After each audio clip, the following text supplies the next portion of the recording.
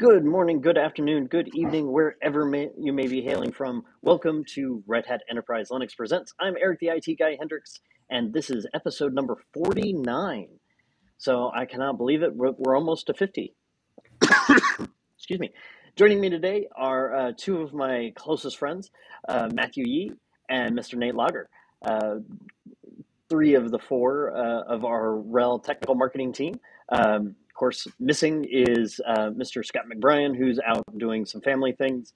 Uh, and so we're, we're definitely looking down our noses at him as, as he figured his family was more important than a live stream. But Nate, Matthew, welcome.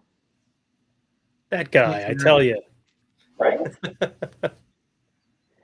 So it is. Uh, it is definitely the last episode of RHEL Presents for the year. We figured that uh, what better topic than to talk about the most recent release of RHEL uh, 9.1 and 8.7. We'll get into some of the details about that as we uh, as we go on about uh, our, our, topic today. But uh, figured this was a good way to, to wrap up the year. Um, so Nate, you've you've been you've been on more and more of our live streams recently. Why don't you introduce yourself to folks that haven't met you, and and we'll dive in. Sure, folks. So uh, you might recognize me, you might not. I don't know. I've been on a couple of these. I'm Nate Lager, um, recent addition to the TMM team. Although it's not that recent anymore, is it? I feel like I'm I'm slowly getting out of the new guy excuse um, phase of my uh, my term here, right? Um, so right, um, I'm, I'm I'm Nate. You might recognize me from my own uh, outlets from the Iron Sysadmin podcast, and uh, yeah, that's that's kind of me, technical guy like to get to command lines, but uh, I don't know if we're going to get a whole lot of that today. I'm in a browser. My demo's in a browser. Anyway. well, shame, shame on you, sir. Shame on you. Yeah, I guess I could have gone crazy and went all command line, but I didn't get a chance to. and of course, Mr. Matthew Yee, welcome back. Thanks you want to you want to introduce yourself and and uh, and what uh, some of your responsibilities are? I'm a technical marketing manager, and I look after satellite and um, system roles and web console. Oh, also RHEL for Edge. And, and, and Brian Smith can rest easy because we we mentioned system roles, and we'll, we actually have a, uh, a point about that a little bit later in the episode. That's become a running joke around here that every episode is a system roles episode, whether we know it or not. So, um, Brian, hope you're hope you're watching. Hope you're well. Uh, we'll have Brian back with us uh, first of the year. In fact, uh, well, I'll save that to the end. All right. So, why don't we dive in here, Nate? You want to kick us off? Sure. So uh, first, we had some important dates, right? So this episode is going to be about RHEL, about the recent releases of RHEL, uh, and that's all the exciting stuff. But there are some important dates that you're going to want to know about um, obviously, with RHEL 8 and now with 9, we're sticking to this pretty rigid release cycle. That means that dates are predictable. And one of those, two of those predictable dates that you're going to want to have on your radar if you're an administrator is that RHEL 8's maintenance, that is the, I think the first phase of its life cycle, ends in May 2024, right? so at that point, I think that's when you're going to be want to looking, you're going to want to start looking into getting your stuff off of 8 and into 9. And RHEL 7, which is currently in its extended maintenance phase, um, will be end of life June 2024. So that's June 2024 for RHEL 7. That's when that's end of life. And uh, the next phase of maintenance for RHEL 8 starts May 2024. So jot those down, put them in your calendars, make reminders, start telling your boss that you need to move to newer versions of RHEL now because you don't want to be in the, that boat where uh, everybody ends up in eventually where you've got this huge fleet that you have to quickly migrate to something newer. Yeah, I was out at uh, AWS reInvent a few weeks ago, and someone admitted to still having RHEL five floating around, and I just had to cover my ears and you know sing fa la la la la because uh, yeah, that just uh, that was that was a scary thought to consider, especially since RHEL five was my first um, major version of Red Hat Enterprise Linux. So that that just brought back some some fears and nightmares. One of uh, one of my customers as a TAM brought in the TAM because they had a bunch of RHEL five boxes still sitting around, and they were at they were end of life, and they had bought an extension, and that extension was now over, and they're like, "What do we do?" So they brought in a TAM to help uh, help coordinate with that. So you know, nice. it's out there. it's out there. And and also don't tell Eric, but uh, I've actually had slides in our in our show today, and and that's that's been a hard and fast rule to not have slides. But don't don't tell Eric. Okay, we won't tell Eric.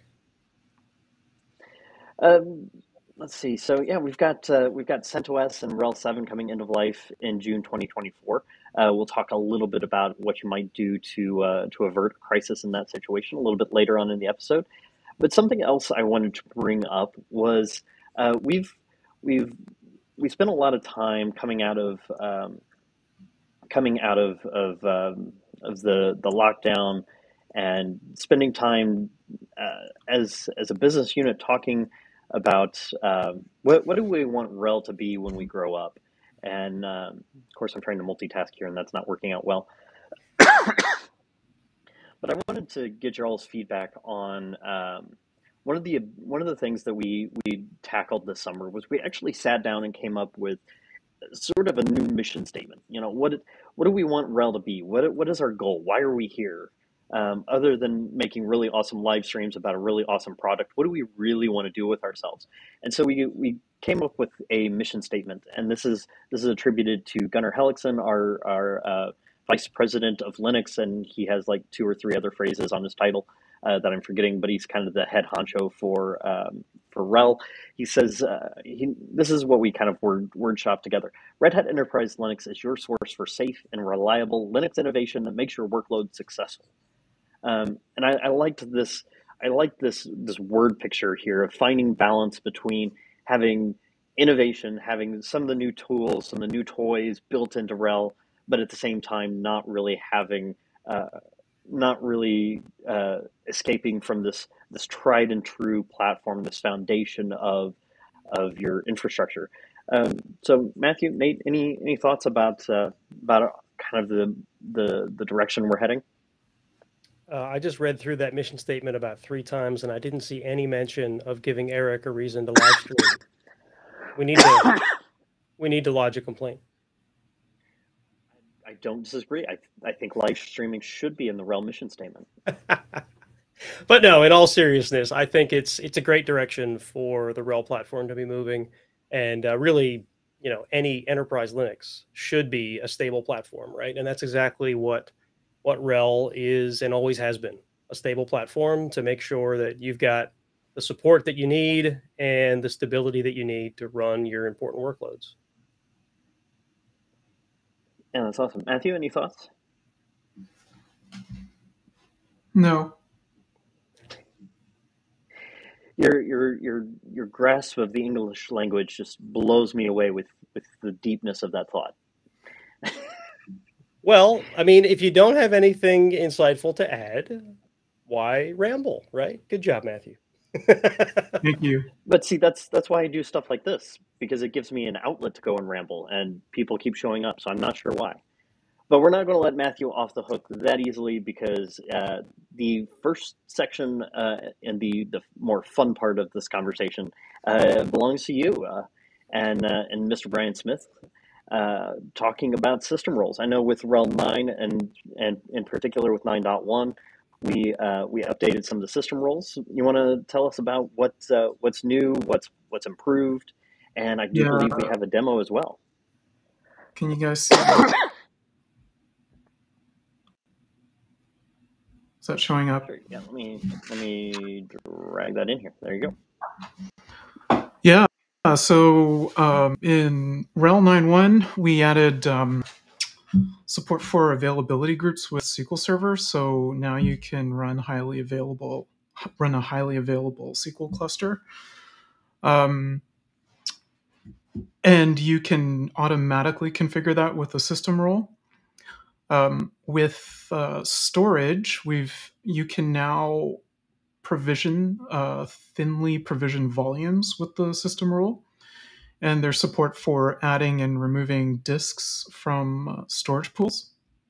And you can also create and attach um, cached volumes to the existing volumes in uh, on your host. There's um, there's a really important firewall system role enhancement, which I really like, and I'll be demoing later. But we often think about using the system role to make holes in your firewall. What we've added is the ability to reset that firewall back to the default state. And uh, for my purposes, I think this is great because if I'm troubleshooting something, if I end up opening up a whole bunch of holes in my firewall, I want a really easy way to reset that thing back to fully secure default mode.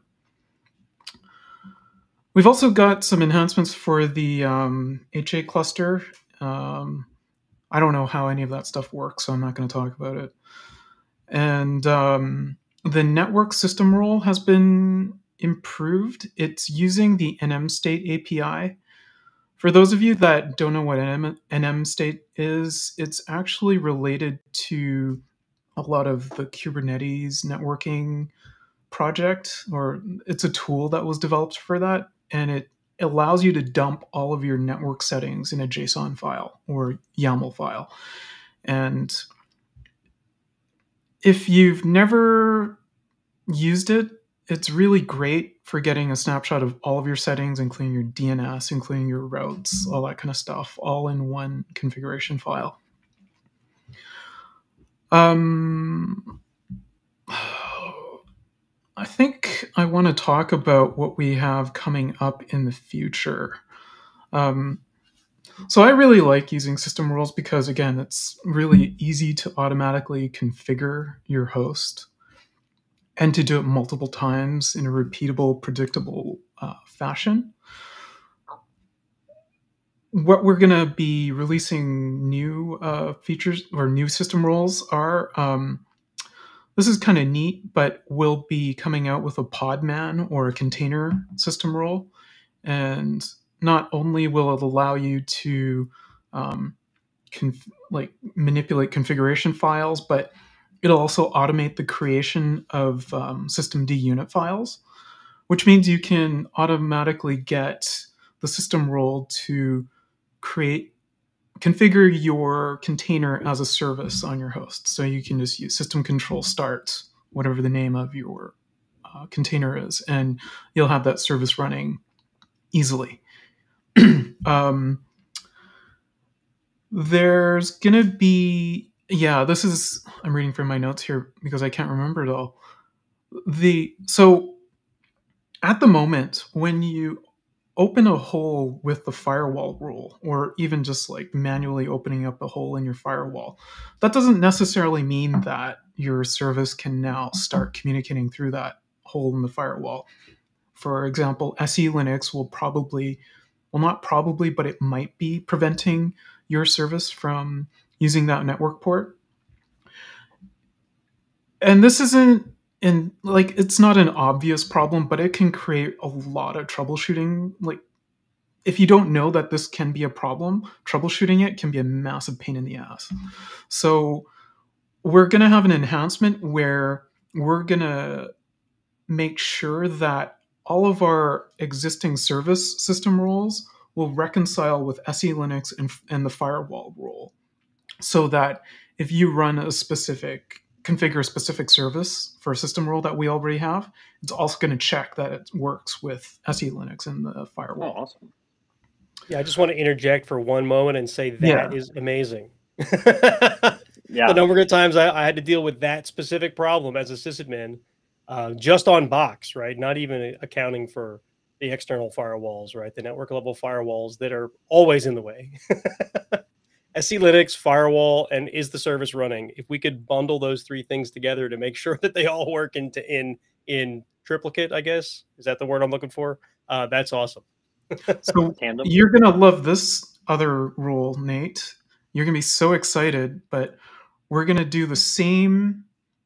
We're gonna be able to perform the same operations. That is like reconciling between um, existing uh, system roles but with certificates as well. So if you have if you have multiple services that require certificates on your host, uh, and you configure those system rules, we're going to give you the ability to check that they're not stepping on each other. So that's awesome. I, I mean, I do like so, the sound of that. I, just just to step you you you glossed over HA a system role to can help configure HA, but this co- goes to the same point, right? System roles are very quickly becoming the setup tool, right? If you remember a decade, decade and a half ago, especially with HA, there was this this funny like little X Windows GUI tool that would help you configure HA because HA was complicated. It still is complicated. It's easier now than it was then. Uh, but system roles are now becoming that thing that have a, so much of a smaller footprint and less requirements, and they're easier to use and they're more repeatable. Um, this is just awesome work, the system roles. Thank you, Brian Smith. Yeah. And Rich Megginson. So I'm gonna I'm gonna do a demo now of the firewall system role, uh, especially with the new enhancement. If I can find my tab. Uh, yeah, I bet their bet their ears are burning about now. Uh, we did have Brian and Rich on just uh, a couple of months ago talking about system roles, talking about where we're going, and uh, uh but uh, I mean, just the ability to start bundling in systems together really uh, really kind of brings about a much easier method of of managing systems, especially at scale. So I'm sharing a web page that is accessible by everyone in the audience at lab.redhat.com. And in case you don't know what that is, lab.redhat.com are a bunch of live labs that we have that can help. Well, our goal is to get you initiated and oriented with using some of uh, the features that we have in Red Hat Enterprise Linux. So this particular lab that I have is to demonstrate the use of the firewall system roles. So what I have here is a host. We're going to call that the control host, rel. Um, that is where I'm going to be running my Ansible playbooks that implement the system rule. Now I'm going to be applying that system rule against this host here, which is rel VM, and I'll be manipulating the the firewall on here. So uh, fire. Uh, I'm gonna. So whoops. So I'm running this command just to show you what the default state of the firewall looks like. And Could you uh, zoom in a little bit on your tab there? Sorry. Uh, could you zoom in on your tab? I think it's oh, like okay. the I think it's Super Shift Plus or something like that. There we go. Oh, much better. Perfect. Thank you. And so this is what the default state looks like. So we've got a, a firewall hole open for Cockpit, uh, the DHCP client, and SSH. So I'm going to go back here into the control node where I'm going to apply the already created playbooks. Um, I'm not going to show you these since I'm not going to have time, but it, you can go through the lab yourselves if you want. Uh, so what I've just run here, mm, that's hosts. So what I'm doing here is I'm going to apply a bunch of arbitrary firewall rules. There we go. Okay. And I'll show you what I've done on the target host. What we have here is I've opened up a hole for for the um, HTTP uh, browser. Well, not not web browser, the web server that's sitting on this box. Um, and then there's an arbitrary port, which is 999, 9999 TCP that's open. And I'm also forwarding traffic that goes to from 9999 to port 12345. And this is just a whole bunch of arbitrary stuff for the sake of the demo. So could that be used for if you're if you're doing like NAT forwarding or something? Is that what the the intention of that is, or you're just forwarding one port to another? It's possible, yeah. That's cool. Um, it I don't know. Some people like to put SSHD on a different port. I don't know why. Um, Security by obscurity. yeah, right. I remember when I used to run uh, MS SQL servers at a previous job, there was a checkbox in the, the little GUI for setup that said, it basically said secure the port. And all it did was change the port from 1433 to 2433, as if that was it. Done. You're secure. No one will ever find it. anyway, sorry. Nah, that's okay. Um, what I wanted to show here by showing this playbook called reset. So reset is where you keep a bunch of variables, but in order to reset your firewall, you put in this variable here. Um, Eric, if you can, I think I put in a link to the firewall documentation. If you want to blast that out. We'll definitely have that included in the show notes. Uh, usually the a couple of hours after the after the uh, episode goes live. Takes me some time to go in and grab all the links. So this this stuff is all pretty well documented, in my opinion. Um, your mileage may vary. Um, so what am I doing here? I am going to apply the reset the reset uh, variable to my playbook and reset the firewall.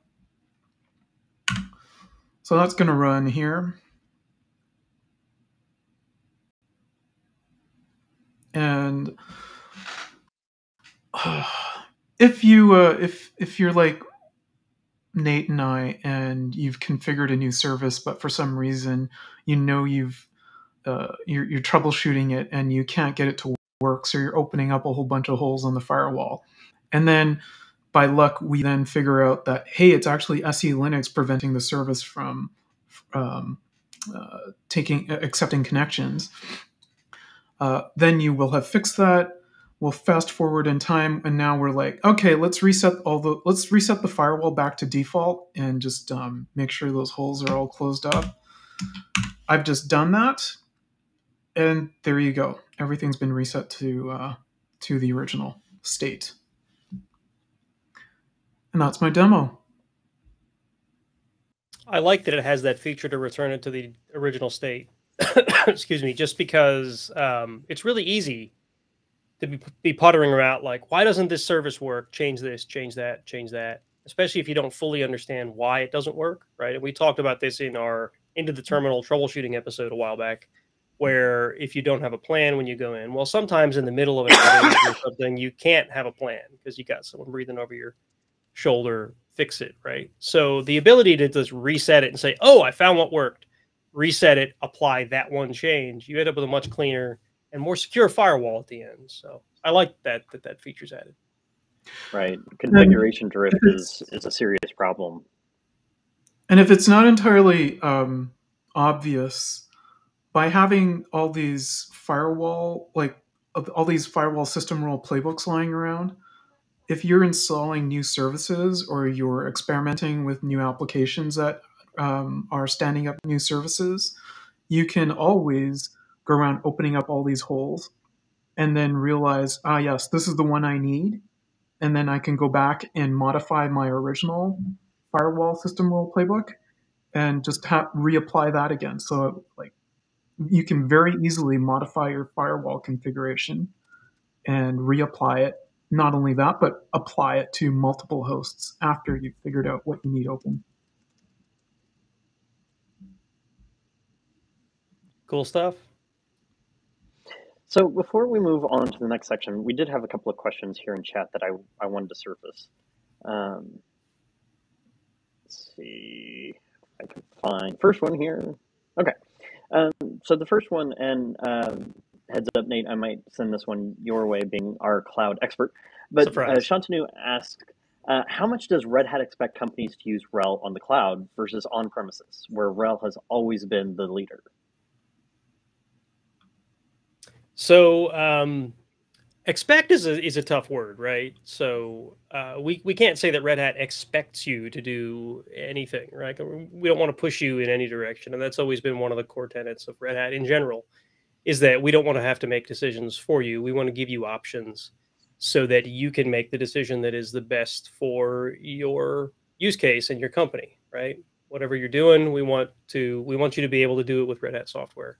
Uh, that being said, um, the I'm, I'm gonna not necessarily refocus, but shift that concept to the whole point of RHEL on the cloud is that if you're moving whether whether you're on-prem or whether you're in a cloud provider, whatever cloud provider you're in, we want that platform to be uniform, right? So if you're on RHEL on-prem, it should feel just like RHEL on AWS, just like RHEL on Azure, just like RHEL on whatever uh, cloud provider you want to be on, right? So the instead of what do we expect you to do, it's what do we enable you to do, and we enable you to have a constant platform, a portable platform, right, across any cloud that you want to run on.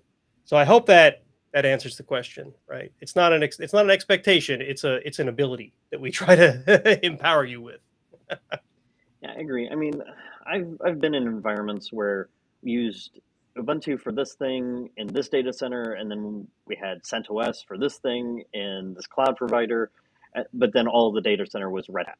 Um, and that becomes very, very maddening when you're working on multiple things at once because let's let's be real as sysadmins we could never work on one project at a time. It was working on all the projects all at the same time. Thank you for thank you to the open source community for tmux because you really saved my sanity but being able to run the exact same commands, run follow the exact same procedures, whether it's data center, cloud, uh, public cloud, private cloud, doesn't matter. It's all the same, no matter where you go, and you get you get those you get that value of subscription as well. Things like Red Hat Insights, things like being able to open support cases for any of your workloads, no matter where they're running. Um, so, like Nate, I wouldn't wouldn't so much say expect uh, but enable would probably be a uh, a better uh, a better descriptor. Yeah, and the the the portability really is is a an overlooked use case, right? So mm-hmm. a decade ago, it was really popular. Shut down your data centers, move to the cloud, right? 100% cloud. We're moving everything to the cloud. All the new startups should be on the cloud, right? Um, and now we're seeing a trend where some of those workloads that went to the cloud for lots of reasons. Was it too expensive to run it in the cloud? Did it not offer the features that they wanted? Whatever. Some of those are coming back to the data center, right? And if it was on RHEL in the data center and if it's on RHEL in the cloud, that move becomes so much easier because the platforms are the same.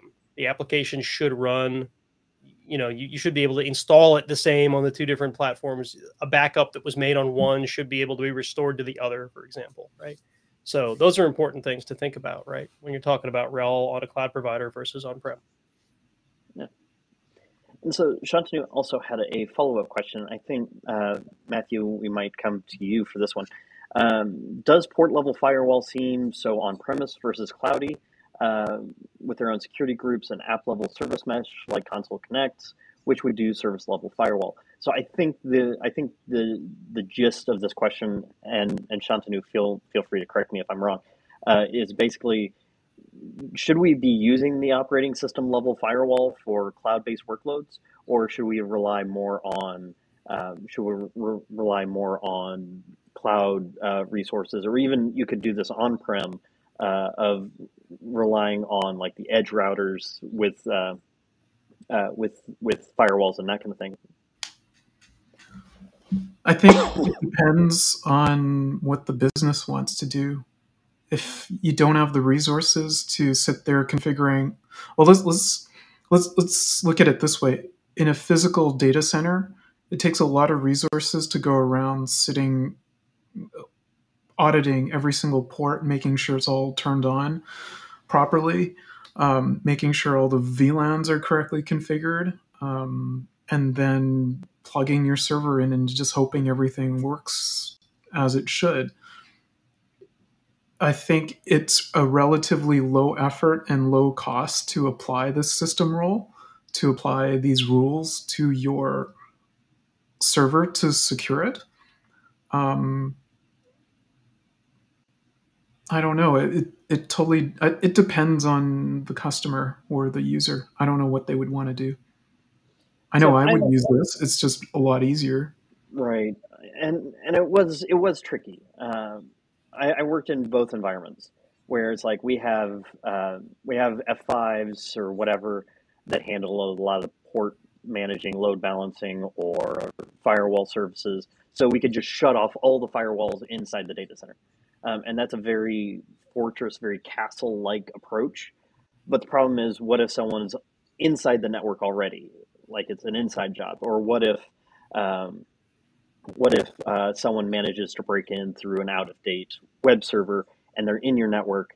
Now you've got nothing separating servers from servers. Um, so I've I've been of the mindset that you should do security in in uh, in layers, and especially with with these updated system roles, it's very easy to go in, wipe out the configuration, and only open up the specific ports. Like if you're if you've got a server that's running a, a database, you don't need the web ports open. So nuke that configuration, open only the ports needed for whether it's database uh, HA or maybe it's uh, maybe there's a web UI for the database. You only need to open certain ports for certain services, and I think adding in automation and then things like insights to monitor drift um, really make it easier to have that defense in layers. Uh, and Mr. Iron Sysadmin, do you have anything to, to add? I, I, know security is kind of your, your your bread and butter, so I don't I don't want yeah. to move on past the question without asking you.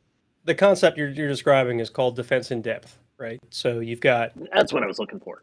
You've got an outer perimeter of defense, which would be like, say, your network firewall, or maybe mm-hmm. a firewall at the gateway, right, between you and the internet. And then you've got network isolation firewalls between different networks, right? Like the place I used to work, we had a crazy set of isolation, right, where each network, like there was a network just for databases, and that the network firewall would only allow the ports for databases from any other network into there because why else would you need to get in right and then we'd have host level firewalls that would say only these hosts can get to this host right? So you know defense in depth right? And that's exactly what you were describing. If one of those databases got compromised you couldn't get to the other ones. If the web server got compromised it could only get to the database that it's allowed to get to right? Those are the those are that that's the concept right?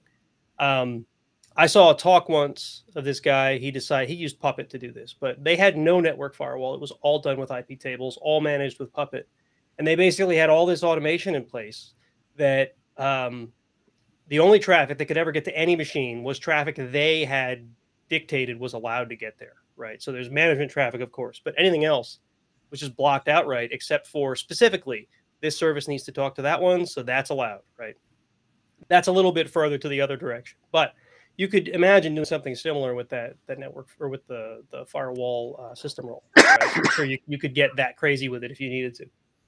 I, I want to clarify what I was trying to get at with my original answer to this question, uh, as in making this the choice of the customer. But mm-hmm. suppose you had the ability to buy all this really fancy, expensive equipment like an F5, whatever, or um, and um, have everything have all of your connections scrutinized at the lowest level all the way up to the top level of the osi stack? Well what if one of these device like first of all they cost a lot of money.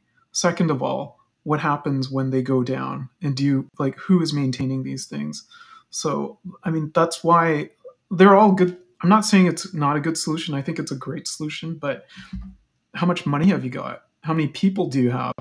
And that's why I say it's a business decision. So I, I think Matthew must have been a sysadmin in a previous life because what I'm hearing is do do all of your own security at your own level because you can never trust whether or not that other thing still works. That's not what I'm saying at all. Yeah, no. No, no I'm but saying... it's it's a it's a choice based on budget and mm-hmm. expertise, really, right? And, and yeah. What, yeah.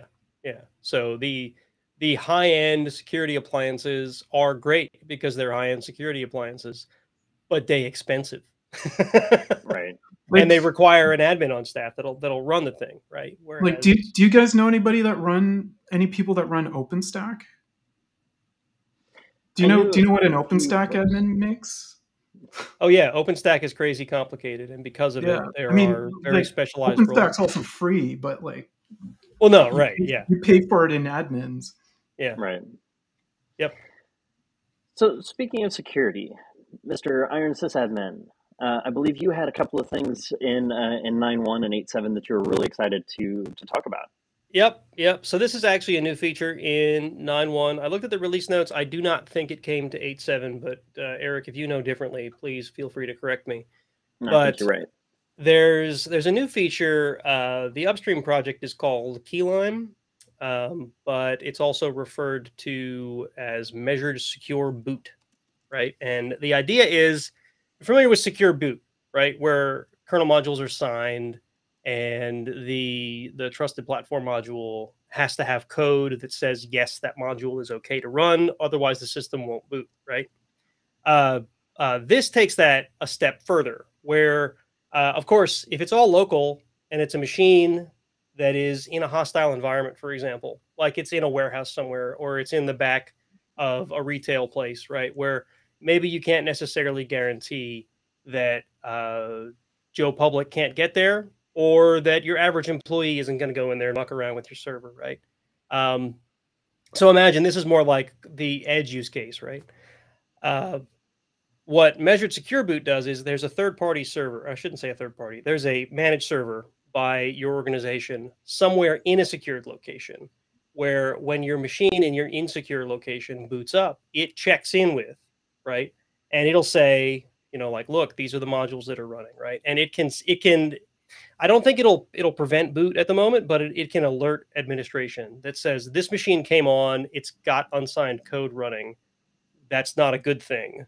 Maybe you want to go check it out, right?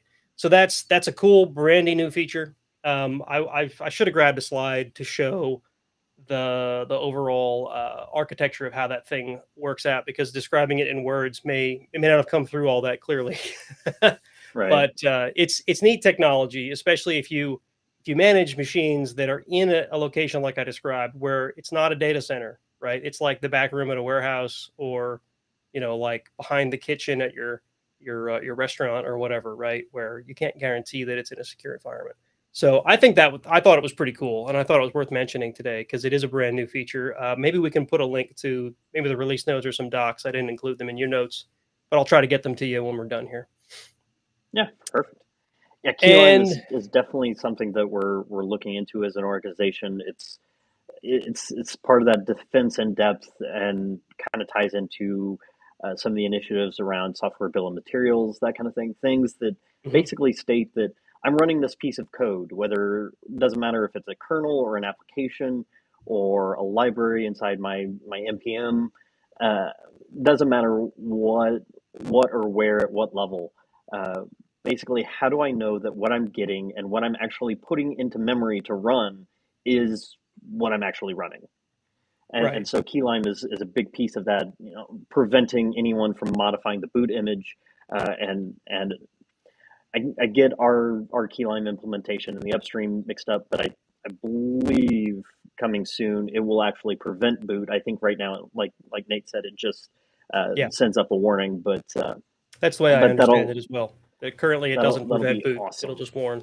But yeah, that'll be that. That's that could be game changing for folks that have to manage remote systems that are in uh, unsecured environments, right? Because from a security perspective, right, once you've got hands on keyboard, all bets are off. Well, this is starting to change that, right? Mhm. So that's pretty cool. So we, we mentioned that Nate, one of your one of your uh, areas of expertise is sort of the cloud technologies and, and how to uh, how to deploy RHEL in the cloud, uh, as so many of us are used to deploying in, uh, in data centers. And and one of one of my babies is uh, is Image Builder. And you came across something that you that you brought up actually in our team chat the other day uh, that we wanted to uh, we wanted to highlight on the show. Uh, so why don't you tell us about uh, what you discovered inside uh, Image Builder? Yeah, so um, I'm gonna, and I may not be the only person that has that had had a this revelation, right? when I heard about Image Builder, I thought, oh, neat, it's just another way to package up and deploy RHEL.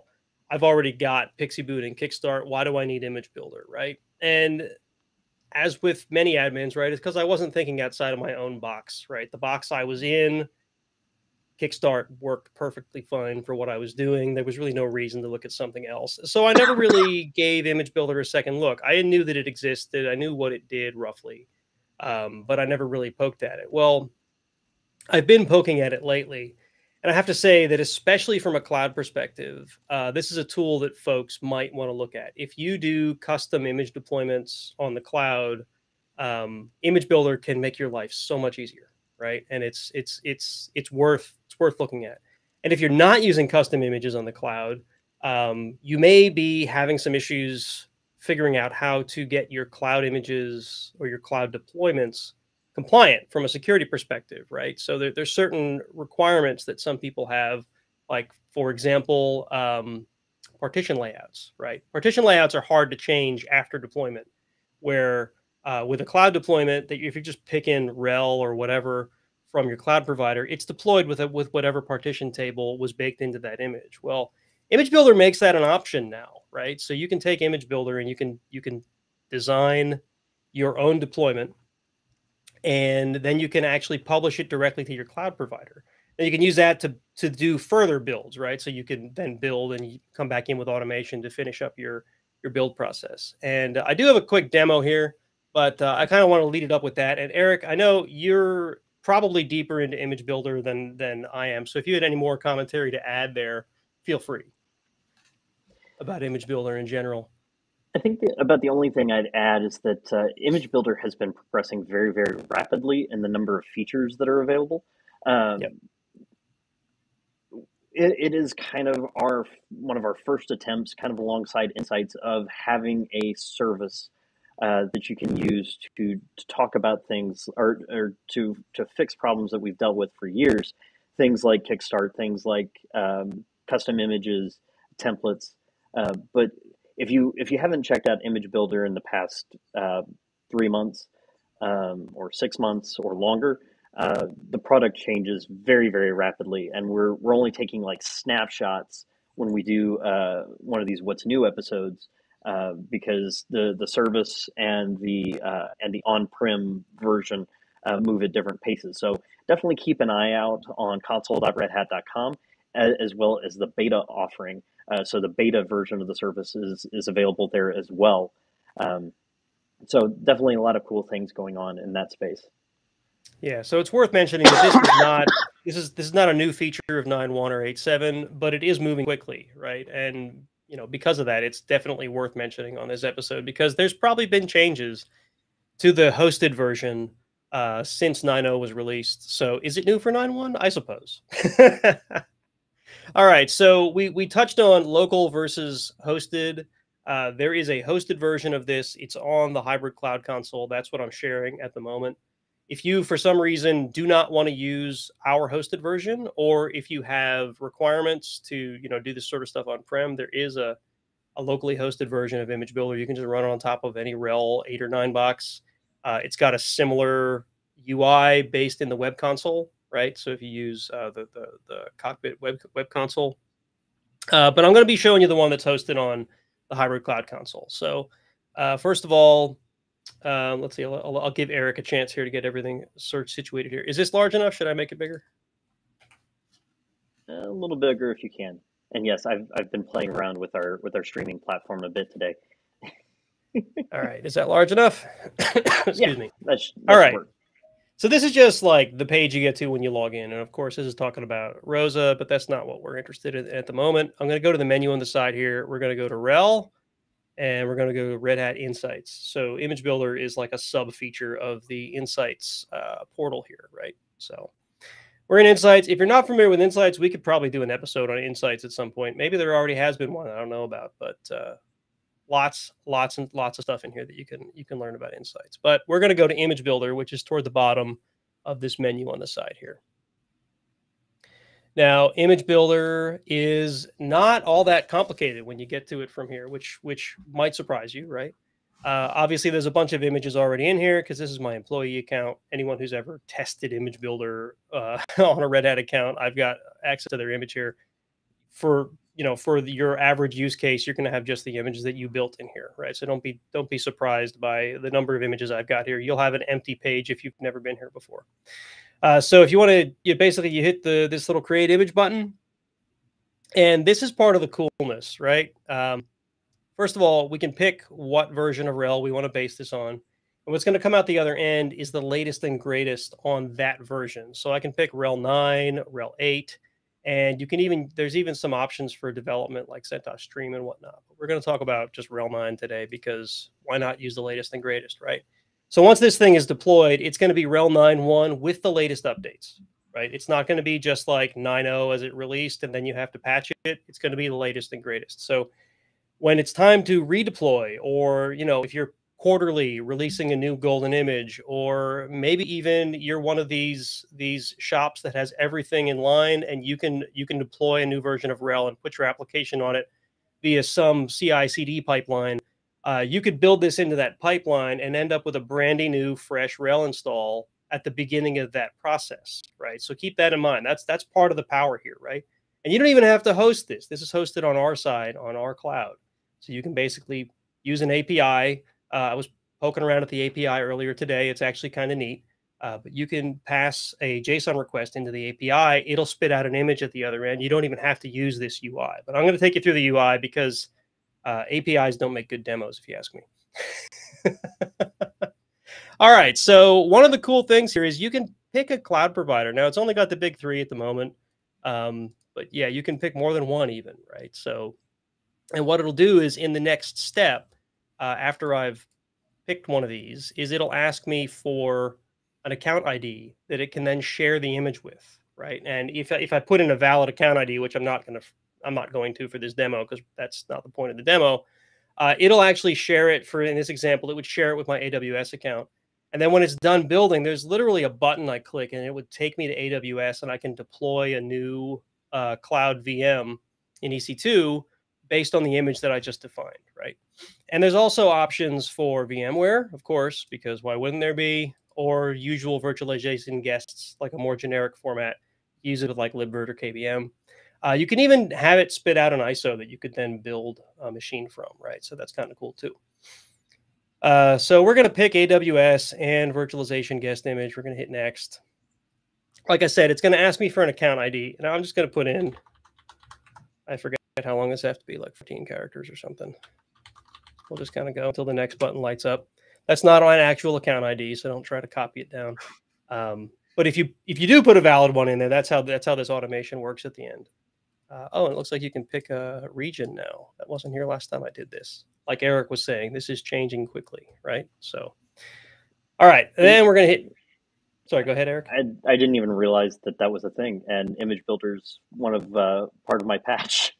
Yeah, right. So apparently that's that's a recent change, right? Images are built in the default region, copied to other regions later. Okay. So anyway, okay, maybe no, that's just that's just telling me which one it is. I don't think it'll let me change it.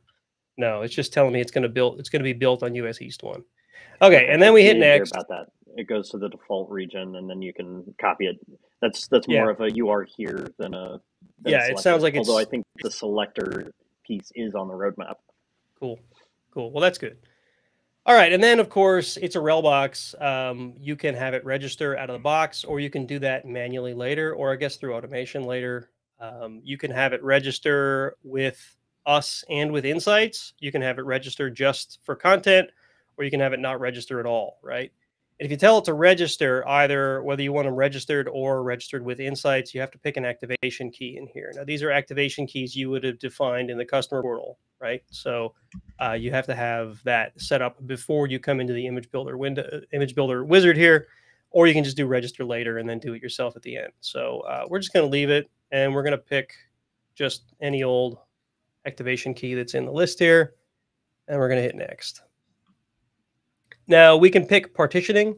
Um, this is kind of the thing I was I was mentioning before, right? A lot of security standards say things like temp has to be its own partition, or you know, home or var or whatever have to be separate partitions, or maybe your own standardization says that var has to be its own partition so that logging can't fill up your root drive, that kind of thing. With a normal cloud instance, that's hard to define. Some of them have that kind of stuff out of the box, but it's really nice to be able to configure it yourself, right? So I'm going to tell it manually. It's it's it's already given me a root partition of 10 gig. Let's just add, I don't know, temp or something in here.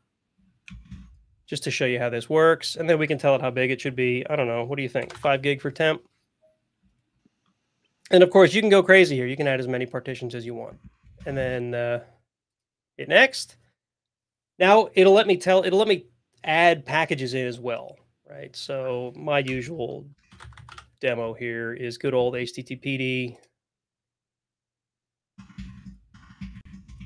And what this will do is as it builds the image, it'll automatically install HTTPD as it's going, right? You could also add in like, I don't know, your favorite text editor or, you know, other agents and whatnot, as long as they're included with the RHEL uh, base image or the, the RHEL uh, base OS repository, right? You can install them right from here.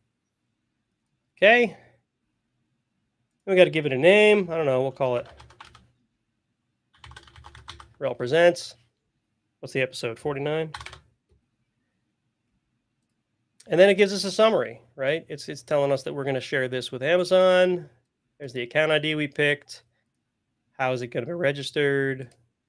The system configuration, like um, how big the partition table we designed and things like that. Additional packages. It just tells me what's chosen. Not doesn't show me a list of them. And then we just hit create. And what this will do is it'll take us back to that list and you'll see at the top of the queue, there'll be a new image that's being built. In fact, there's two of them because remember we selected both AWS and uh, a local uh, uh, QCOW file. And we're not going to wait for those to finish just because they'll take a few minutes and, you know, we're live streaming and standing here waiting for things to finish on a live stream is boring. But I do want to call out this. See, these are these are ones I built earlier today. This test image here. And these three dots over here on the side, there's an option here that says download compose request. And what that does is it'll give you a JSON dump of what I defined here. And then you can take that JSON dump and you can pass it back into the image builder API to repeat this build later if you need to. Because remember, like I said, if you wait three months and issue the exact same build again, what you're going to get is the latest and greatest software that comes from RHEL three months from now, right? So that's that's great for for repeatability. Nate. Yes. Is that compose file usable with local image builder?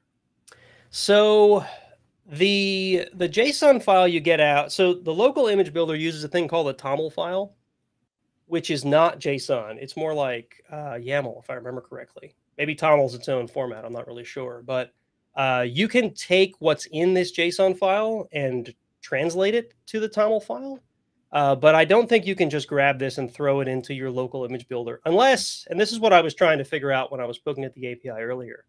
I think the local version of image builder has the same API, but I think it has to be enabled. And I wasn't able to figure out how to turn it on. Uh, but I think that you can take this JSON, pass it into the API on local image builder, uh, and then you could throw out the same image on a, on a local hosted uh, image builder. That'd be really cool.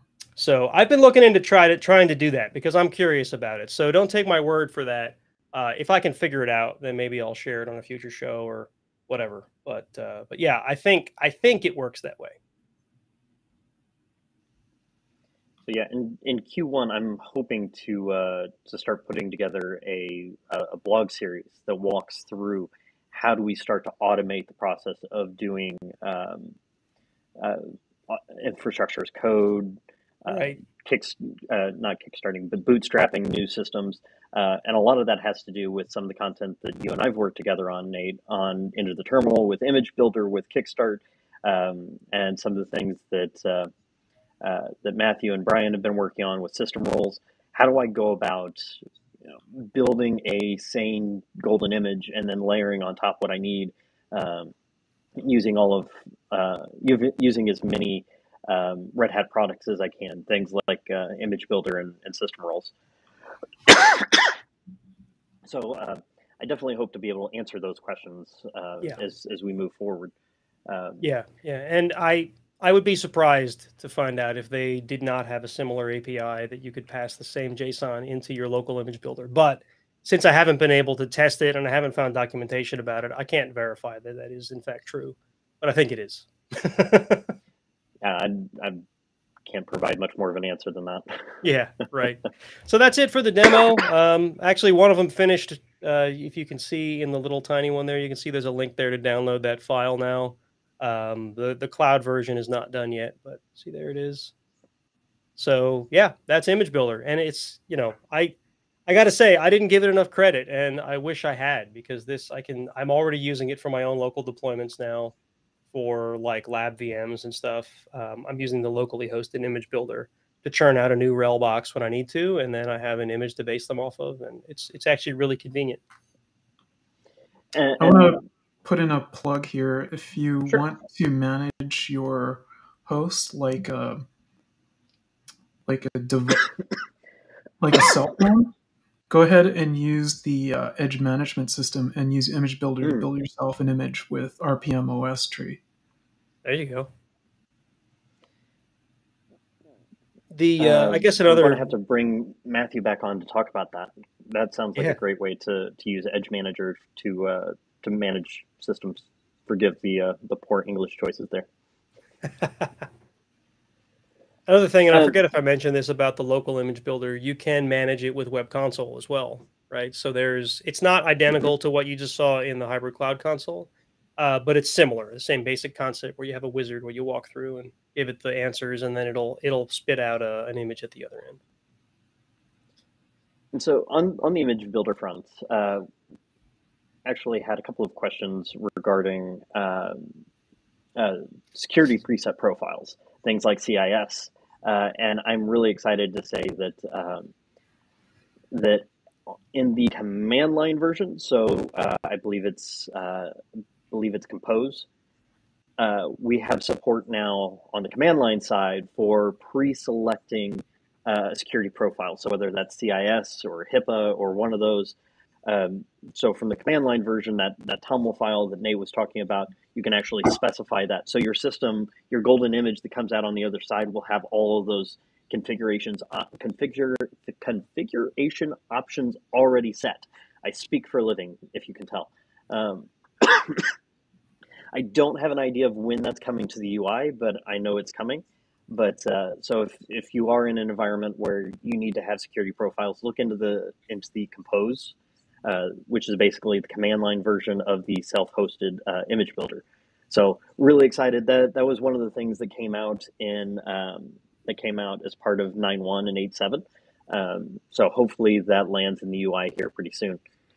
Uh, you, you also may have noticed that that wizard that I just walked you through seemed simplistic, right? There were maybe some things that you might have expected to see there that you know Image Builder can do. The API will still let you do things like add users, probably set that OpenSCAP profile, though again, I haven't tried it. That was one of the things I wanted to poke at. Uh, but you can do more with the API than you can with the wizard, as with many things, right? So uh, just keep that in mind that if you wanted to do things like, say, add a default user, you could pass that through that JSON uh, payload if you're using the API.